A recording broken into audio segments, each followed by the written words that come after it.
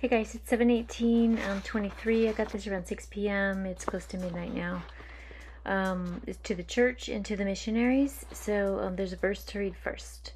Therefore, since it still remains for some to enter that rest, and since those who formerly had the good news proclaimed to them did not go in because of their disobedience, God again set a certain day, calling it today. This he did when a long time later he spoke through David, as in the passage already quoted Today, if you hear his voice, do not harden your hearts. For if Joshua had given them rest, God would have spoken later about another day. There remains then a Sabbath rest for the people of God.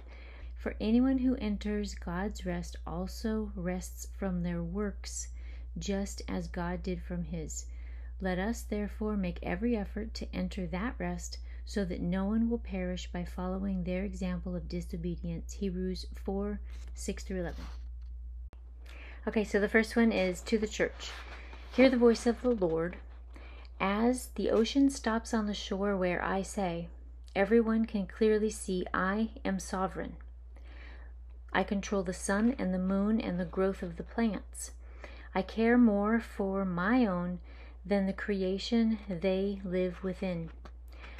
No matter what you soon see, recall that I, the Lord God Almighty, care for my children, and with just a single prayer, I can rescue you from anything that seems insurmountable.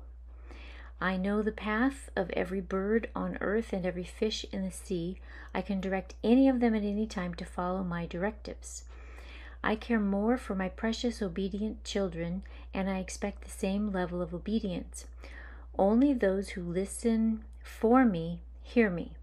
Some once um, thought they heard, but they allowed logic and the spirit of deception to stamp it out. If this is you, pray against the spirit of deception and pray that you can clearly hear me. I love you and want you to hear my voice. The days are few until the voice of my prophets stop.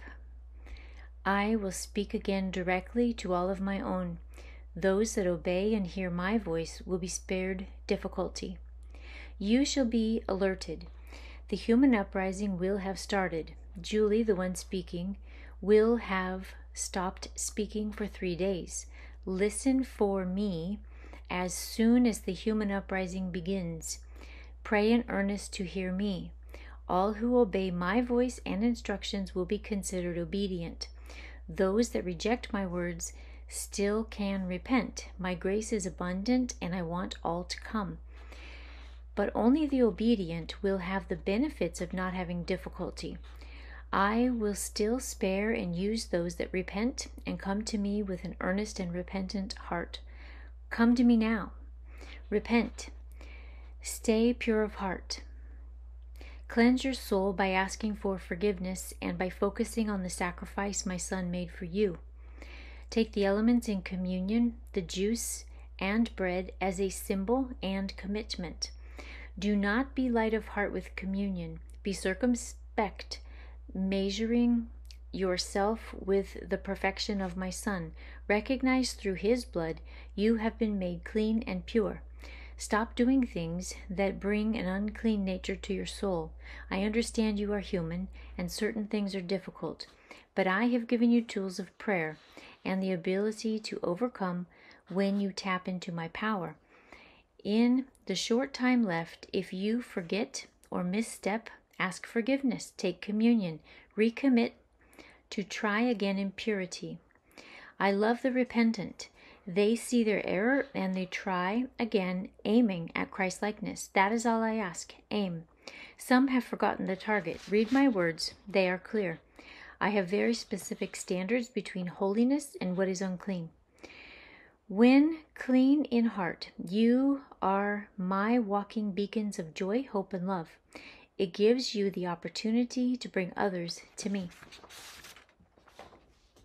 Number two, to the missionaries. Missionaries, mine who are pure and being sent out, you are not aware of each other. That is okay. You know your tasks, you are ready. Hear my voice and follow my words, and the world will change. It begins. Hear me. Follow my every directive. I will guide you safely and with joy of steps. I will bring you each person that needs to meet you. You will be directed from there what to do. Look at every person in the eyes and see who has the potential to come to me. I will let you know, you will feel it. These you will spare in the return. Do not doubt, this is the start.